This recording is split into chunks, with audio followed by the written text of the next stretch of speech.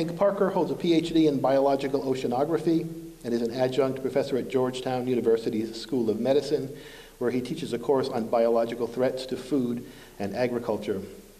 He formerly served as a senior executive and acting director of Homeland Security for the Agricultural Research Service of USDA and has published and lectured on bio and agro terrorism. He lives here in Vermont, many of you know that.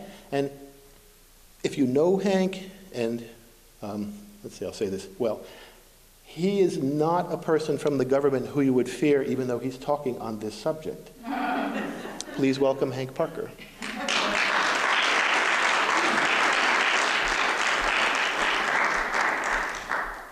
And I won't say I'm here to help you either. Thank you very much, Bob, and my appreciation to the Athenaeum, uh, and my appreciation to all of you people for being here tonight. I see a number of uh, fellow Rotarians, and I will do my best not to repeat uh, the talk that I gave Monday, was it, at Rotary Club? But there may be some of the same things. So, Catherine, you know, you can tune out some of the things you've already heard. Uh, and, um, and a number of you in the audience here have been incredibly supportive uh, as I have uh, gone through the process of getting this book into publication. I see Ralph and Nancy who've known about this, uh, Ralph, Vincent and Nancy who've known about my work on this book for some time, and uh, they've even seen my writing shack because uh, we're neighbors, which is not used in the winter, by the way, it's snowed in. And Paul and Carol Bruja, also neighbors, uh, and have been also part of this journey, have heard a lot about the book. And I especially want to mention Sue, my wife. Here, you can put up your hand. Uh, and, um, you know, a lot of friends and, and, and relatives uh, have been supportive, but no one is supportive as, as Sue. And I think I told the Rotary folks the other day that I believe Sue has, has either heard me read or read herself every single word of every single draft of this book as it evolved. And if she ever complained, it wasn't to me. and she's a terrific uh, listener and, uh, and constructive critic um, and has had really some great ideas and great contributions to the book.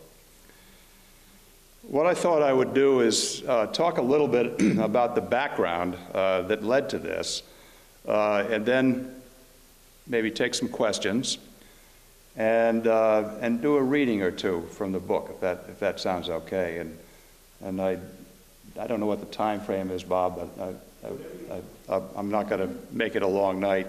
I know a couple people have grandchildren playing basketball, so that's a, that's a priority. In 2001, uh, in February of 2001, something like seven months before 9 11, there was an outbreak of foot and mouth disease in England. And how many of you have heard of foot and mouth disease? Probably pretty much everybody. This is a, a devastating viral affliction of cloven hoofed animals. And it does not kill the animal, hardly ever does, and it doesn't sicken people, all right? Uh, but it makes the livestock unmarketable. And they have some very gruesome uh, sort of uh, manifestations of the disease when they get it. As I say, it doesn't necessarily kill the animal, but you can't sell them. And so, because of the fact that the foot and mouth disease virus is the about the most contagious virus around, we all worry about it. We worry about it in this country. We worry about it in every country in the world uh, which, which has livestock, cattle, sheep, swine, even deer, by the way, can get it. Well, when, it, when the first case hit in southeastern England in February of, of 2001, it only took a couple of weeks before that virus to spread throughout the British Isles. So the entire country uh, was under attack from the virus within a matter of a month or so. And the response, unfortunately, is to kill all animals within a certain perimeter of the infected animal. Why? Well, because we don't have vaccines that work.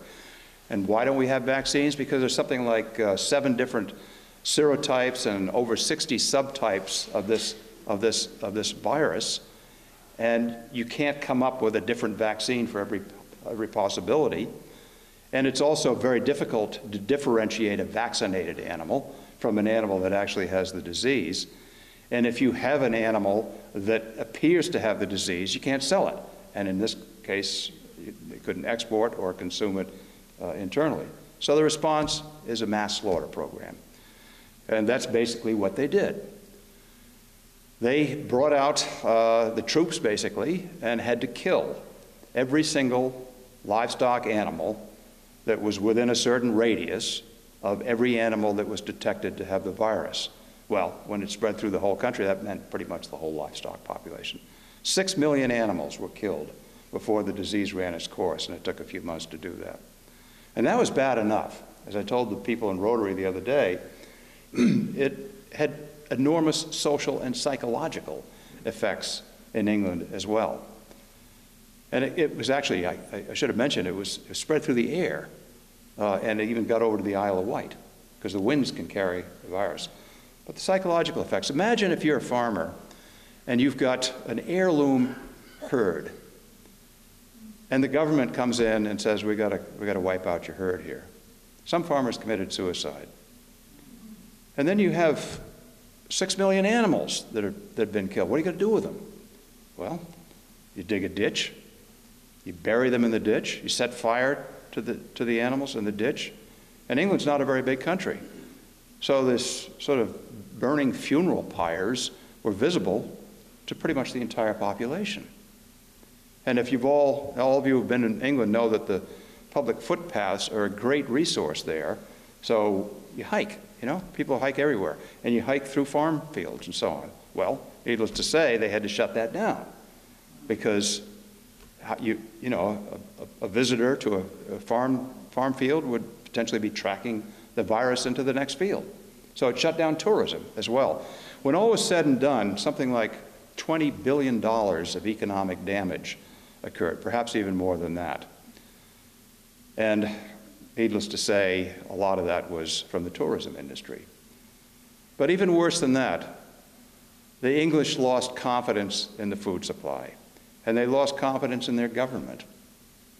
Even though the government really did have no choice about how to contain the disease according to the standard protocols. I mean, the, the populace witnessing this, obviously, they were very, very turned off, very traumatized. And so let's take it over to the United States. We have we used to have foot and mouth disease in this country, but we haven't had a case since the late 1920s. And one of the reasons that we don't is because of something called the Plum, Plum Island Animal Disease Center. Have any of you heard of that? You've probably read the book Plum Island. There's a couple of books about Plum Island. You know all the conspiracy theories and everything else.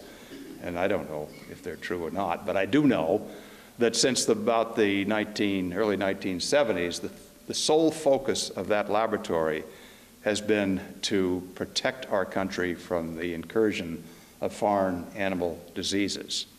And they have been very, and the, the primary focus has been foot and mouth disease. They've been very effective. We haven't had a case, you know, since something like 1929. But what if we did?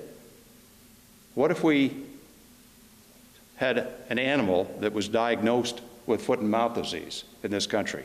We're working on vaccines, new vaccines that can be differentiated uh, from the actual disease itself. If, if you find the vaccine residue, you can, you can theoretically be able to tell that it's not actually the, the, the, the, uh, the virus.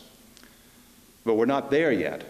We've got a long way to go to get these vaccines into commercial production. So if you have a single case, the policy in this country would be the same as it was in England. You'd put a sort of a containment zone around, slaughter all the animals that might potentially be affected by that contaminated animal, and uh, hope that you could contain it. But you've got a few problems. It takes something like three or four days before the symptoms to show up. All right? And if the disease, if the virus spreads that rapidly, think how far it could spread in our country. I mean, we have, you know, the, the U.S. Agri- Food and Agriculture uh, uh, system is incredibly important economically. It accounts for about one-sixth of our economy, and it's not, that's not just the production of crops and livestock on the farms, but it's everything that goes into that and everything that comes out of it all the way from literally the farm to the fork. So about one-sixth of our economy, about one-sixth of our, of our, uh, of our employment is attributable uh, to the food and agriculture system. And a lot of it is livestock. And the other thing about livestock is we export a lot of livestock products. And that's a, a bright spot in our whole balance of trade uh, uh, situation because we, we have a big deficit in terms of, of trade, imports, exports. But in terms of livestock and agricultural products in general, it's the opposite. so, one single case, all exports are shut down. All movement of the animals is shut down. But if it only if it takes three or four days before you find out, think how far the virus could spread before you detected it. And so we've modeled this in this country. And we, one of the models said if, if, if you had a significant outbreak, you'd have to ultimately kill so many animals that it would take a ditch 25 miles long to contain the carcasses, and you'd have to basically destroy it, you know, in the ditch. So we stay awake at night worrying about that particular virus. It's not the only one that's out there that, that's a threat, but it's a big one. So I got involved in, in some of this, uh, uh, uh, some of the work to try to uh, help the country better prepare for and respond to uh, animal disease and, even, and crop disease as well uh, as they might occur in the United States. But one of the wrinkles to that was what if it was a deliberate attack? Again, foot and mouth disease. You know, very, very contagious virus.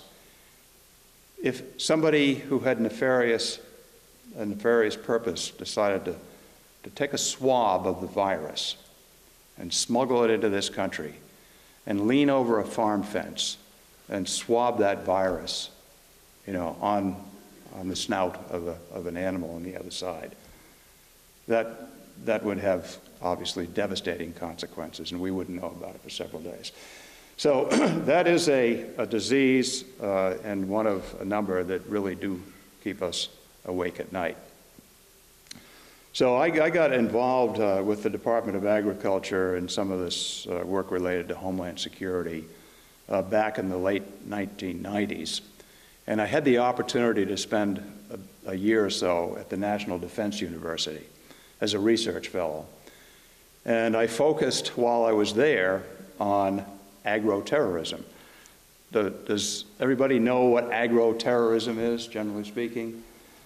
It's basically a deliberate attack on the food and agriculture system. So it could be uh, a perpetrator uh, infecting an animal, infecting crops, uh, contaminating uh, food in a restaurant, uh, or in a grocery store, or even attacking the physical facilities uh, that might be uh, housing or producing or transporting or whatever these products.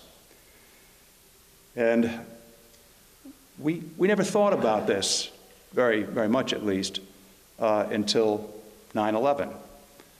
Uh, but not long after 9 11, when we went into Afghanistan, our Special Forces troops uh, went into a cave and they found documents with lists of pathogens, both anti human and anti animal and anti crop, that Al Qaeda had listed with sort of a how to if they wanted to attack us, including our food and agriculture system. And that really woke us up. Now, agro-terror, bioterrorism has a long and, and sordid history, uh, but really so does agroterrorism. You know, there have been people out there that have uh, tried to uh, attack their enemies uh, by poisoning uh, their wheat, by poisoning their animals, as well as poisoning the people. for hundreds, even thousands of years. So it's been around a long time. The United States was involved in, in a bioweapons program up until the 1960s. And included in the bioweapons that we were looking at were, were, were agents that could uh, affect livestock and crops. So this whole sort of bioterrorism in general and agri-terrorism in particular has been around a long time. But in 1972, a number of nations, including the United States, signed the Bioweapons Convention. And uh, so presumably, you know, we put a stop to this uh, throughout the world, but we didn't. There are still entities out there that carry this out. So anyway, I, I came uh, back to USDA after the year or so that I spent at the National Defense University, and I had the opportunity to write up, write up a, sort of a, a treatise on what the U.S. government might do to better protect itself against deliberate attacks on its food and agriculture infrastructure. And uh, then I, I worked in the Homeland Security arena for the next few years. I actually spent a little time out at Plum Island, which was an experience. Plum Island, uh, they had their own Navy out there, you know. So to get there, and, and nobody spends the night except maybe a security guard, something like that. So you, you commute either from the southern Connecticut shore or from Long Island uh, on ferries uh, that take you out there and you do your work for the day and you, and you go back home afterwards. And um, you know, as I say, most of the work that they've been doing there has been related to foot and mouth disease, and especially developing new vaccines. So uh, anyway, I, I, uh, I, worked there until um, 2005, and then I, I, retired from USDA and the federal government then. Uh, and I'd always wanted to, to write. Uh, I'd done a lot of nonfiction writing, uh, mostly technical articles and, and articles for the, for the lay public on, on science. I'd never written any fiction. And I was working on another uh, nonfiction uh, effort. But I figured if I was going to be serious about writing, then what I would do uh, would be to, uh, you know, take some writing courses, which, which I did. I took a bunch of them. I took the same course from the same woman several times. I, you know, I told her that she, you know, one of these days she'd have to pass me, you know, but. And I joined a couple of writing groups, and those are fantastic. And I know, Carol, you're in a writing group, and perhaps others of you. You are, Steve? Yeah. And writing groups can be great if you get the right group, okay? You got to have a support. But if you have the right sort of uh, camaraderie in the group, uh, then you are going to be uh, encouraging each other, uh, constructively criticizing each other, and, uh, and you're going to be serious about it. The best writing group I, I was in, I think we were serious, but it sort of devolved into uh, wine and pizza after a while. So, and we were too kind to each other, honestly. But, but it, it, it also it gave us the chance to, you know, to share. And I think as a writer, and a, and a number of you are writers, the hardest thing to do is to lay out the stuff that you have written to other people. You know, uh, it's hard. And uh, but if you have a nice, friendly group, and you're supporting each other, it does you know, grease those wheels quite a bit. And so the writing groups were very helpful, as were the, were the classes. Uh, but I still, I was, you know, I, I'd, I'd left USDA in 2005 and, and uh, was taking all these classes and in the writing groups and writing nonfiction and so on. But this thing was just, you know, sort of percolating in, in my head about terrorism, about food and agriculture, and about a lot of what ifs, okay? So not only what if foot and mouth disease broke out in the United States, but, but what if it was a different kind of a disease? A disease that could be passed from animals to humans, a zoonotic disease, a disease that might not necessarily be symptomatic in the animals, but could be deadly to humans. And what if that virus could be spread as rapidly as foot and mouth disease? What, what would happen? You know, how would we respond to it? I mean, you see the horrendous consequences of what happened with an animal disease in England and what could happen here if, it, if foot and mouth came to our country. But what if it was something that was killing people and you had a high case fatality rate? And unfortunately, there are diseases out there that'll do that. There are diseases with case fatality rates of over 50% that have never come onto our shores and can be transmitted either directly or indirectly from animals. Now, highly pathogenic avian influenza uh, is one of them, certain strains of it. Uh, but there are other maladies that are vector borne. On the back of the book, uh, there is a little, on the spine of it, a little picture of a tick. Okay? I absolutely hate ticks. And when we were living in Maryland, uh, you know, we were infested with ticks. So that wasn't the sole reason we came to far northern Vermont, but it ranked right up there. But about a year ago, we were walking with some friends through some fields in Lyndonville, and we were, we were covered with ticks when we got through that. So they're, they're, they're moving up. They haven't come up to the Brujas in our place yet, I don't think. But it's only a matter of time because of climate change and, and so on. Uh, but there are some tick borne viruses that are about as nasty as you can imagine. The hypothetical virus in containment is modeled on a, a real virus, which fortunately has not come to this country. But there is a, vi- tick, tick-borne virus uh, in certain parts of the world, uh, which animals can carry, livestock included, uh, but not show the symptoms. But if a human, particularly if it's a, uh, if you've got a cut or something else, comes into contact uh, with the, uh, the fluids of that animal, um, you have a good chance of dying. If you don't die, it's pretty awful. You bleed out. It's like, it's like uh, Ebola, almost like Ebola on steroids in some ways. So, anyway, the, the, the virus that I sort of hypothesized in, in containment uh, is modeled on that, but it is totally hypothetical. And then there's another issue, and this is one that really worries a lot of people.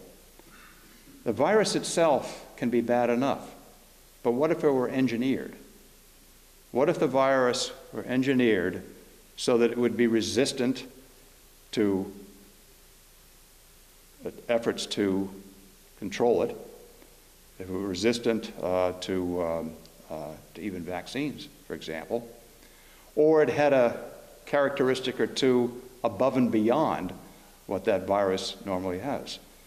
And there are new genomic editing technologies that are out there that are evolving uh, that people without a lot of education uh, can fool with and do things with and mani- manipulate the genome of a number of different organisms, including things like viruses and parasites and bacteria.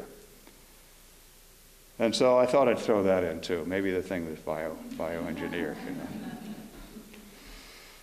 A lot of people who don't necessarily have background in this area might say, you know, that the, the scenarios that are depicted in containment just don't, you know, that, that they're just unrealistic. But think about it.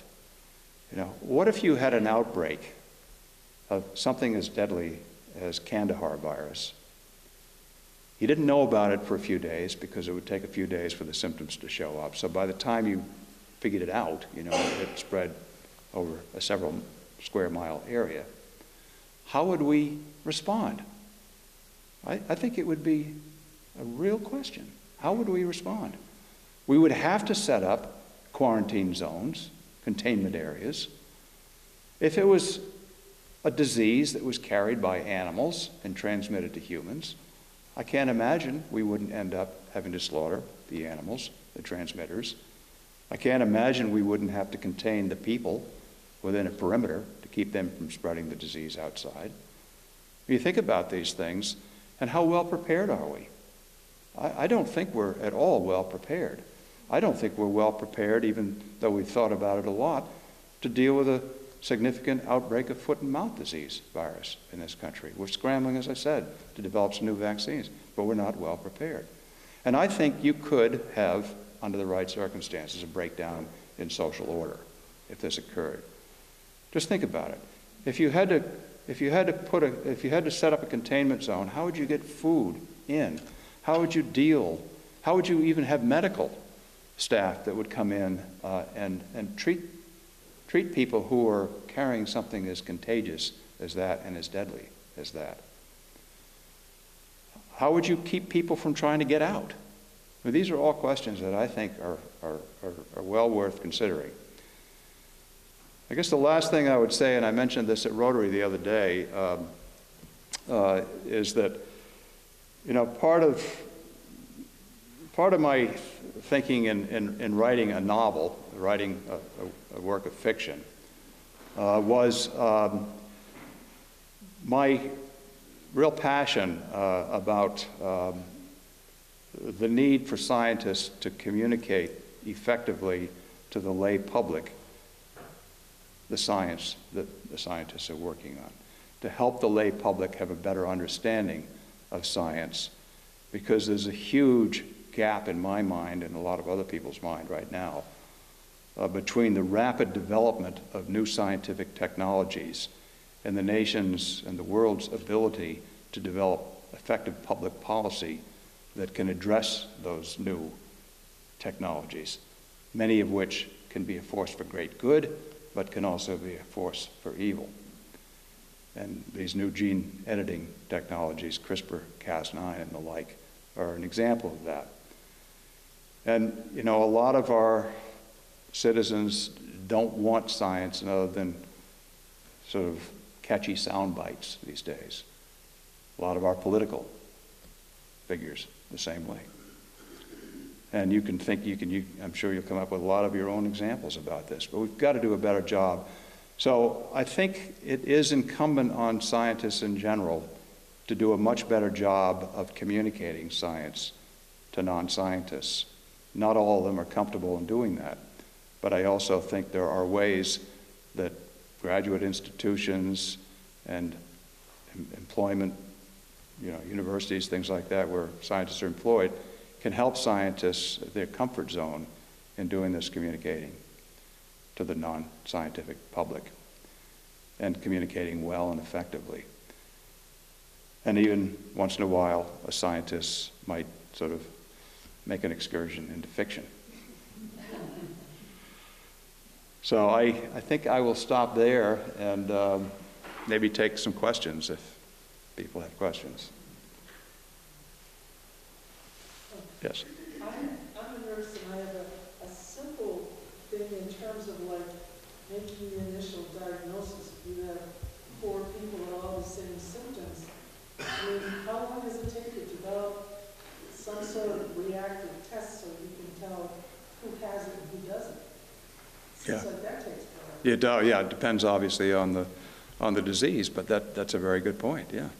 And I'll, I'll give, give you an example. It's, it's a little bit related to, to your question, but it also goes back to foot and mouth disease. We thought we had a, a case of foot and mouth disease uh, in this country back about uh, 10 years ago. And, I mean, everybody was panicking. I forget where it was, it's somewhere out in the Midwest. Because all of the sort of symptoms, um, and it obviously, as I say, it would take a few days for the symptoms to become evident. The symptoms of foot and mouth disease were there. There were, there were sores on the mouth and the and the, and the hoofs were, you know, sloughing off and so on. But it turned out that it, and, and it, by the time they, they, they got the, uh, they, they, they took the swab sample and sent it to a diagnostic lab, and the diagnostic lab did their tests and so on to confirm uh, whether or not it was foot and mouth disease or to determine what else it might be.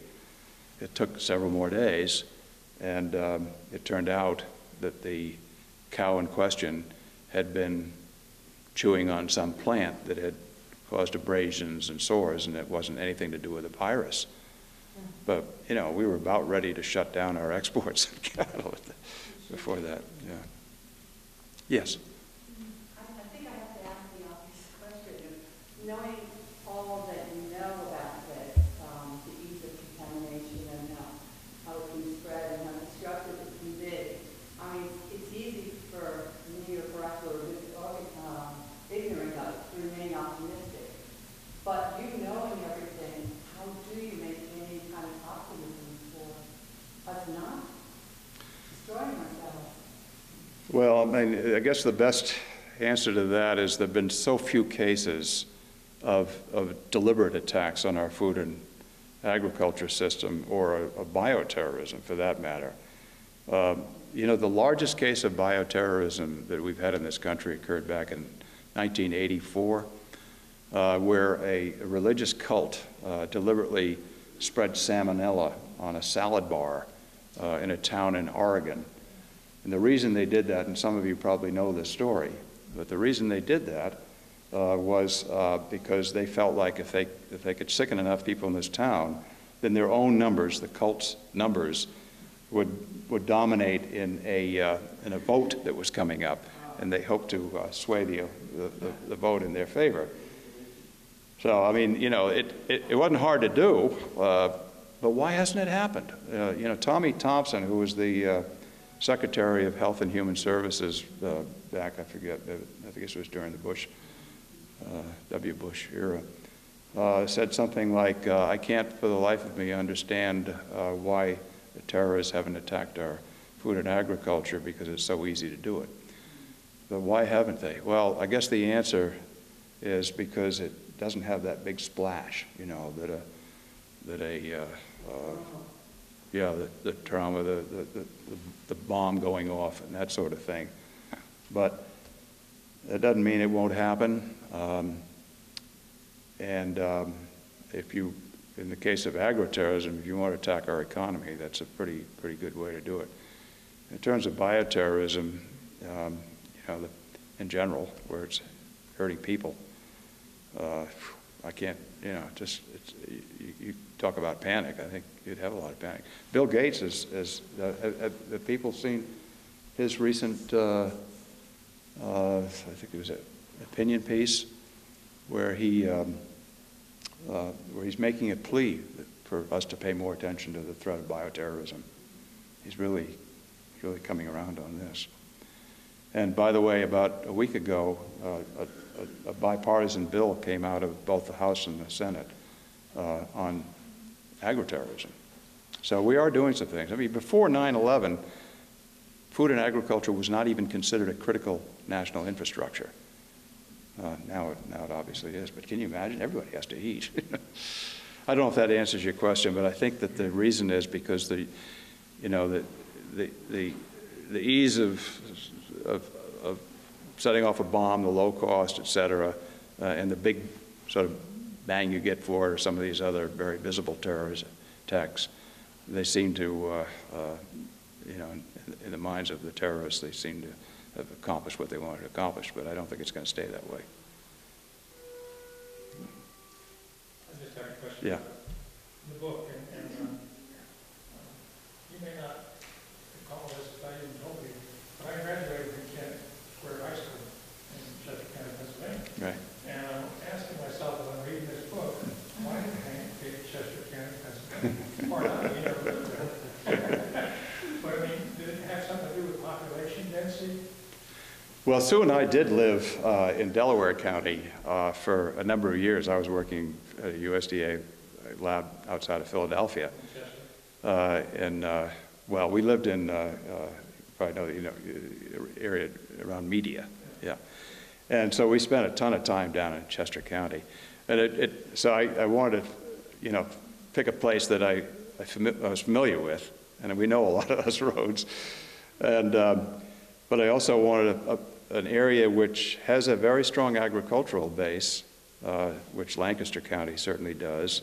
And in Chester County, you know, uh, Chester County is certainly a lot of, a lot of horse, horse farms and things like that, a lot of wide open country.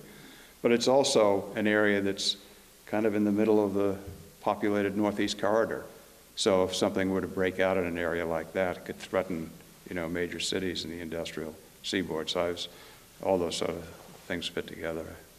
Yeah. Well, I was thinking if you were, if you were actually flying as Dr. Vector was flying, would you go for a suburban area or would you actually go for an urban area? And it seems to me the denser the population, the more rapidly spread.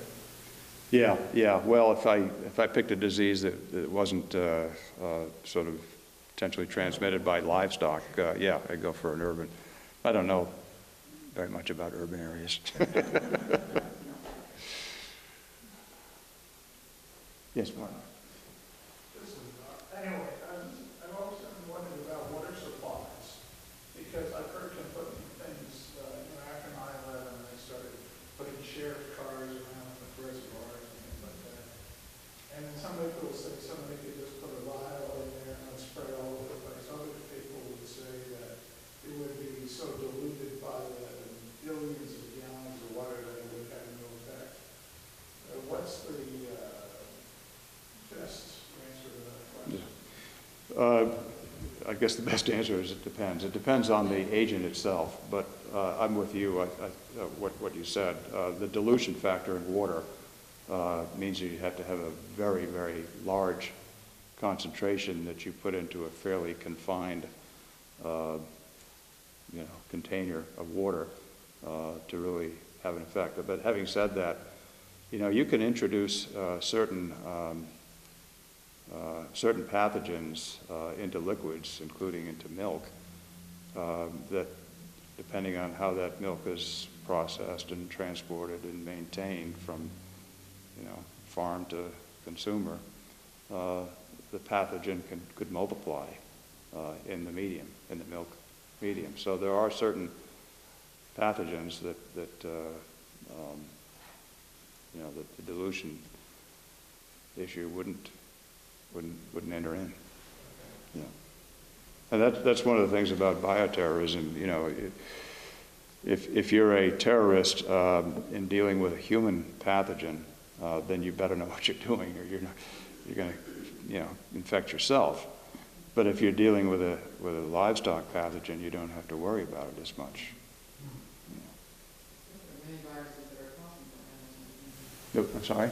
There are more and more viruses which are crossing from animals into humans. Yeah, they, yeah, well, I think seventy percent of, um, of human diseases have their origins in, in animal diseases, but a lot of them are, are, are vector-borne, you know, mosquitoes and ticks and things like that, but you're right.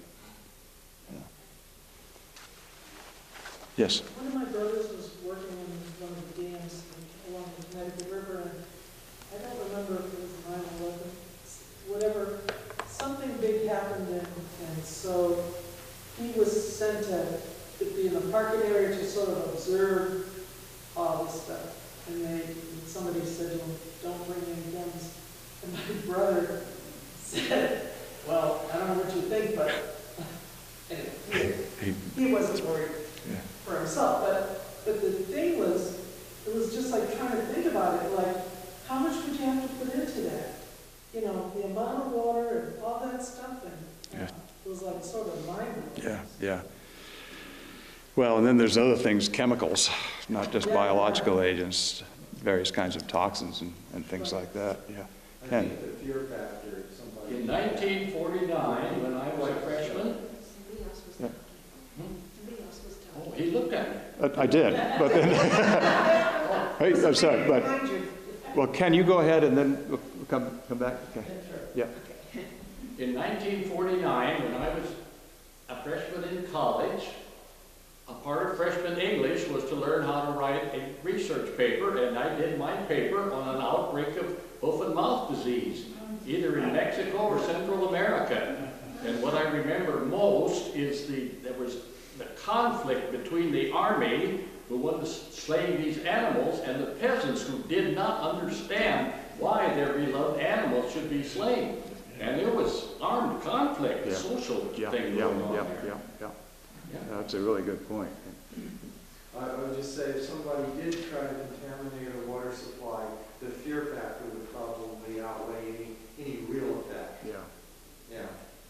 No, I think that's right. If, if, if, and the thing about terrorism in general, sometimes just even the threat of doing it can achieve the desired end, uh, you know, really destabilize the population.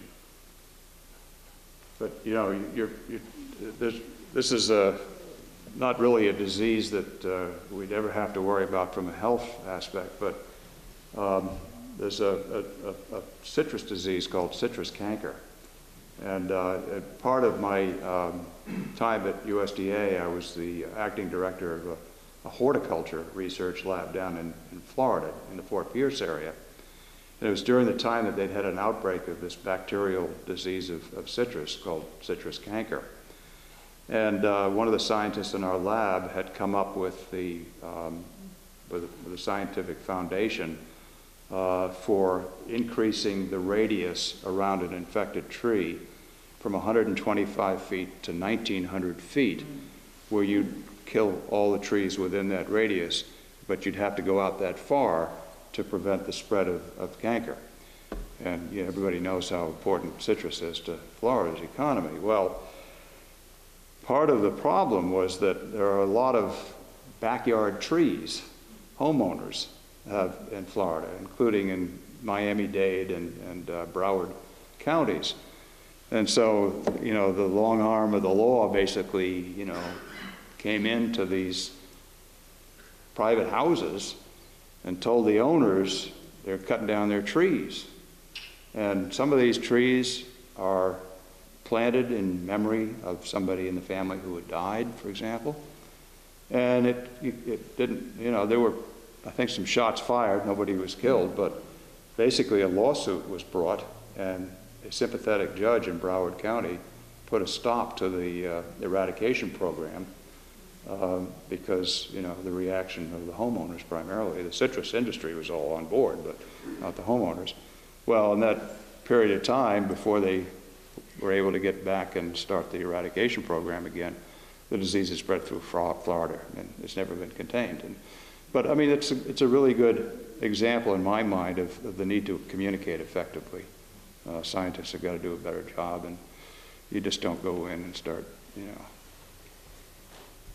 cutting trees down without a lot of effort ahead of time to educate and communicate. Have have you thought ahead to your next two or three books? I mean, are, are you gonna sort of keep sort of the same general focus, or have you thought that far ahead?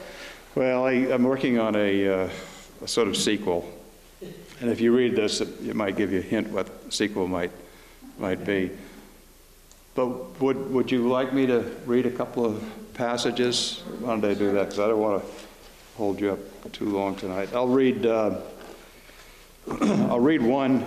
Uh, the first one will give me a chance to introduce the two major protagonists, uh, Maria Rossi and Curt Kennedy. And, and Maria is a, uh, uh, a veterinarian uh, epidemiologist who works uh, at the National Laboratory for Foreign Animal Diseases, which is nicknamed the Barn.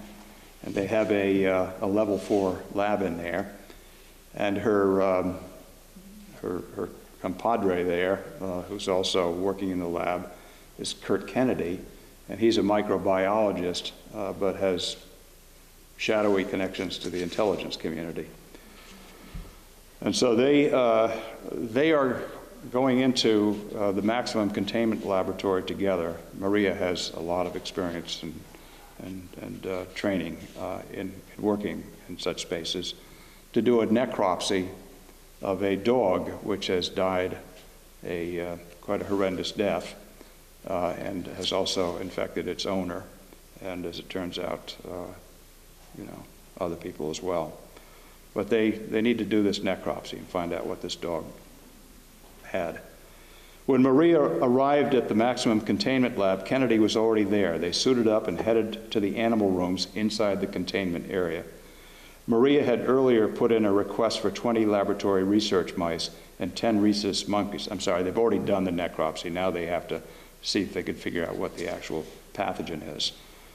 Technicians would have already placed these test animals in cages inside the animal rooms. The monkeys and mice would serve as animal models to evaluate their response to exposure to pathogens that the dog may have carried. Maria would inject the animals with aliquots of the dog's blood. The responses of the lab animals could give an indication of the potential infectivity of the pathogens to people. Maria hated this work. She knew it was an alternative to actually exposing human beings to dangerous bacteria and viruses, but she also knew that the deliberately infected animals might experience debilitating illnesses or excruciating deaths. They established a routine. Kennedy would retrieve a mouse from its cage and hand it to, to hand it to Maria. She would then inject several cubic centimeters of the dog's blood with her right hand while firmly holding the mouse in her left, her fingers clamped across the mouse's neck to minimize the possibility of being bitten. When Maria finished a mouse, Kennedy was ready with the next one, and they simply traded off. After each mouse was injected, Maria would use a new syringe and hypodermic needle to avoid cross contamination. She placed the used needles and syringes into a sharps bucket with a protective cover. By mid morning, Maria was ready to inject the 15th mouse. The needle was poised just above the animal's clavicle. Kennedy had turned to select the next mouse, and as he did so, the sleeve of his moon suit brushed against the bucket of used syringes and needles. The bucket crashed to the floor. Maria flinched, and her right arm involuntarily jerked downward, stabbing the needle into the back of her left hand. Her thumb had been near the plunger, and now she awkwardly maneuvered it as far away from the plunger's surface as possible without letting go of the syringe altogether, leaving it bobbing in her hand. She'd felt the pain of the needle as it penetrated her skin after passing through the thick outer protective glove and the thinner inner surgical gloves. I stuck myself, she yelled, hoping Kennedy could hear her voice above the sound of the air in their suits. Did I depress the plunger? Her mind screamed. Did I bump it with my thumb? Very carefully, she pulled the syringe out of her hand and laid it on the workbench. That will give me that, no. Just kidding around. I said, I hope when we get through, I don't have nightmares, but I'm an old nurse, so I won't. I'll, I'll read a light, light passage next. Paul mentioned Dr. Vector. That- That's what he calls himself. Dr. Vector drew a cup of water from a lab sink and swallowed two Tylenol. He'd come down with a bad cough and a headache and was feeling unaccountably tired, and he had this persistent itching, especially under his armpit. He'd been putting in long hours for months now, and it was beginning to wear on him. Worse, he'd somehow allowed ticks to escape from the garage lab, despite all of his painstaking precautions. What had he done wrong? He forced the second guessing out of his mind. The past could not be undone. He had to focus on the future. His work would soon be finished, and then there would be plenty of time for rest. It was coming down to the wire. Now it was time for another feeding, to fatten up his charges, to prepare them to go into battle as healthy and well fed as possible. A wry, apt expression popped into his head. An army marches on its stomach. And it was a war, he reminded himself. He looked around his new lab, deep inside an abandoned warehouse in South Philly. Roomy enough, but kind of cobbled together compared with his old lab by the farmhouse. Still, he couldn't complain. With the help of those idiot goons, he'd quickly cleared out the old lab and resurrected, resurrected a new one here. Too quickly, in his opinion, but he'd had to move fast or see the destruction of his research.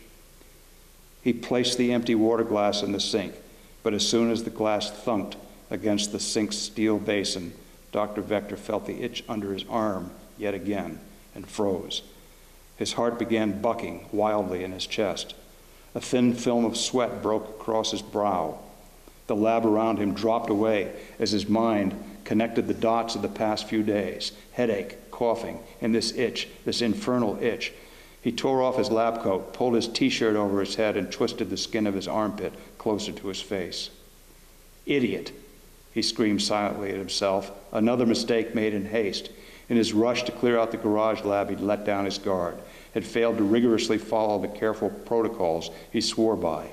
And now, here was a tiny tick embedded in his skin, swollen with his blood. How had it happened, he asked himself, knowing already that it didn't really matter. Had he neglected to count every tick during the transfer, including those that were in the process of feeding? Had he failed to securely cap a container? Had he somehow missed a newly hatched larva or just molted nymph? But he knew it made no difference how old the tick was. At any age, it would be a teeming reservoir of Kandahar virus, which was now undoubtedly in his system, coursing through his bloodstream, making its way into his liver, his kidneys, his heart, his brain. The worst symptoms would show up soon. The cough and headache he had now were nothing compared to losing his mind and bleeding out. Did this also mean sure failure of the mission? How much more time did he have? At least a couple of days, he was sure of that. Enough time to finish the job? So- Great. Right. Thank you very much. My apologies.